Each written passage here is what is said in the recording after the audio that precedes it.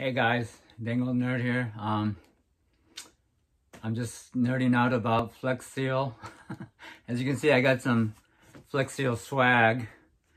Um, I just wanted to, you know, post the videos um, just to show my appreciation. I've never had a company, you know, reach out to me and just send me stuff. Um, uh, it was in response to a video I posted about my Hornady tri-point lock box. And I put flex seal on the bottom of it uh, to keep it from sliding around my, uh, my, in my car under my seat. And also when I put it on top of my passenger seat, putting my weapon in there and it, it keeps it from sliding around. So it's, uh, doesn't look great. I know it's, you know, I made some mistakes in the application of it, but, um, I think there's some lessons to be learned. Um, if I had to do it again, or if you guys, you know, are interested in ever using Flex Seal for something like this, um, what I would do is, I originally I put uh, the blue tape, the painter's tape, over the top of it to protect it from getting coated. I just wanted to coat the bottom. Um, but as it was running over, and then I was peeling the, the blue tape off, I noticed that the flex tape actually adheres better to the tape. You know, it's got some texture. And then it made it really easy to, to take it off. So I think it'd be better if I would have just taped the whole box with the painter's tape and then poured the flex, flex seal over it. Cause then, I don't know, I think it's, it, it helps the flex seal adhere better. And also if you make a mistake or if you want to, you know, take it off, you can just peel it right off quite easily. Um, besides that, the thing I would do is have a secure location where you can just set it, pour the Flex Seal and just leave it for two or three days. My mistake was I had to move it from outside to inside and before it had completely completely cured. And so it kind of moved it around and the surface got all messed up. So then I tried to peel it off and that was a complete mess. And then and that's why it looks like it looks like this. But it works. Um, I do have to practice with it. Um, it takes you know just using the Hornady lockbox it, it takes some I think practice. Here, um, I'm at my dentist office, uh, and I need to put my weapon in the box. So um, I have the little key on the on my key ring of the car. That takes some getting used to, kind of manipulating that.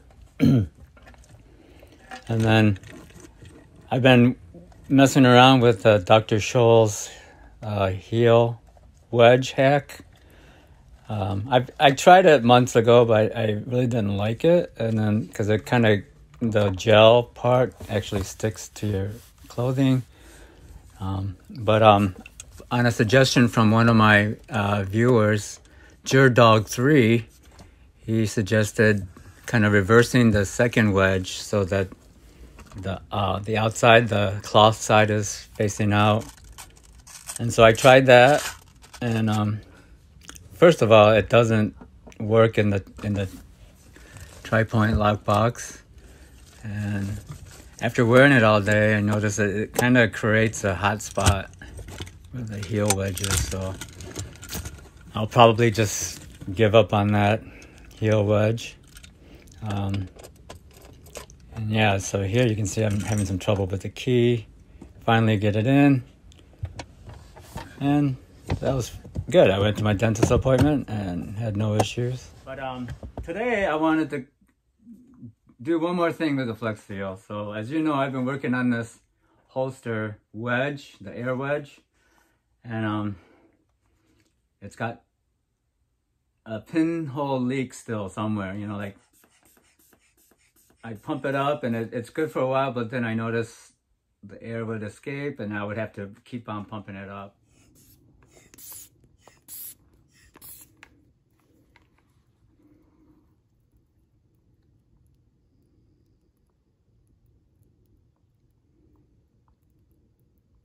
So I thought, you know, I've been trying to just fix it with the Gorilla Glue right here, but obviously it's not working. So I thought, why not just dip it in some Flex Seal? So that's what I'm gonna try to do. So here's my can of Flex Seal. Um, this is the lip balm that they sent me. Um, when I first saw this, I thought, you know, this was like a small individual size of Flex Seal or something. And I thought that would be, you know, genius. So you don't have to have this, you know, big can. And then whatever you don't use, it generally it starts to harden on the surface. So you have to kind of remove that layer. But Flex Seal, if you're watching, why don't you guys make kind of smaller individual like tubes? You know, like the um, Gorilla Glue. I have some glue, Gorilla Glue somewhere, but I, I started, I bought the big tube of it, but I didn't use all of it. And then by the time I got to it, it was all hardened and so I had to waste it. But now they sell those little, little tubes.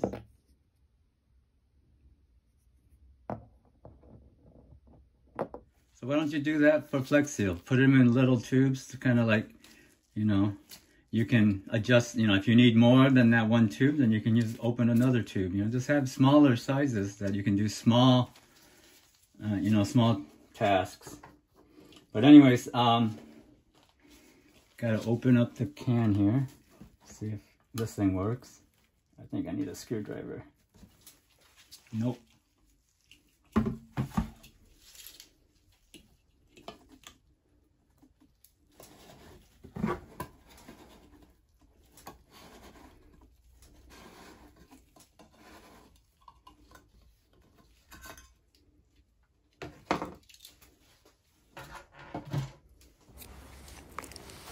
Here I use uh, some wooden chopsticks. These are very useful. Um, whenever you go to an Asian restaurant, just grab a handful of those. And I just use it to mix up the Flex Seal. And then I'm going to put it in this little trough that I made um, just out of cardboard. I'm thinking I can fill the trough up with Flex Seal. And then I will dip the edge of the the air wedge into it.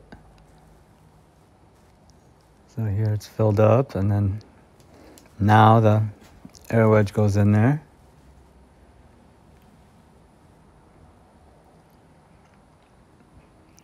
And then try to set it upright so I can cure and fill in some extra Flex Seal to make sure it's completely covered.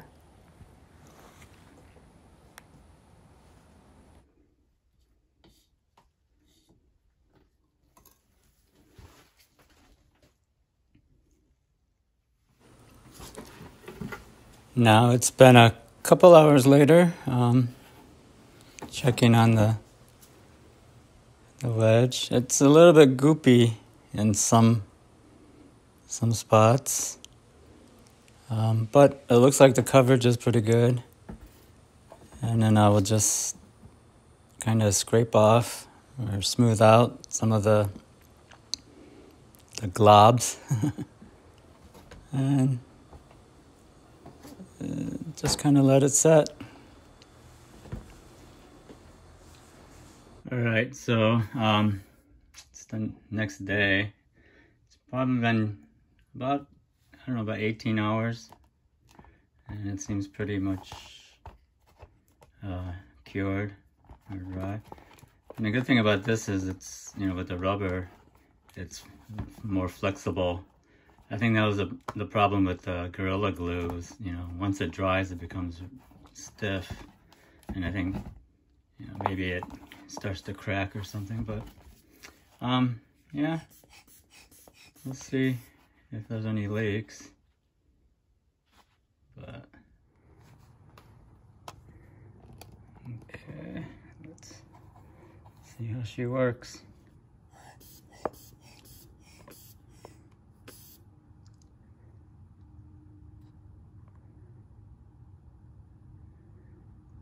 So far, looking pretty good.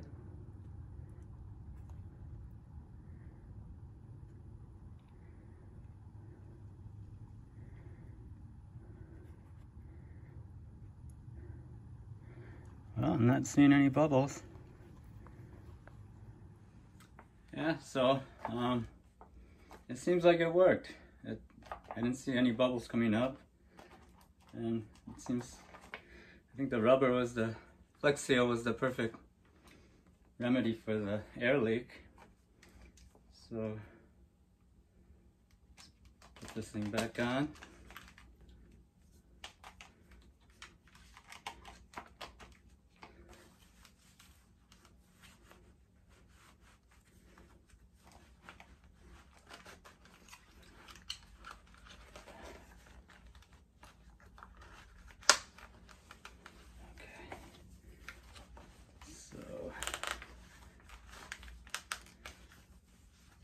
Yeah, I, I, still like the air wedge. Um, it works and it's, it's really comfortable, you know, the, the cushion of air. And it's, I think it's wide enough that it disperses uh, all the pressure. So there you go. Uh, I guess Flex Seal was was the perfect uh, solution for that. Um, as far as their their swag here, you know, it's like I appreciate it, but who's gonna wear this? You know, come on, Flex Seal. Who does your designs? I don't know. Anyways, um, that's it for now. Um, please like, comment below, and um, thanks for watching.